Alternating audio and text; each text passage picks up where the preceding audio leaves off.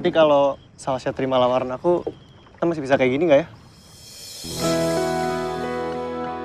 Alif, ini Fisya.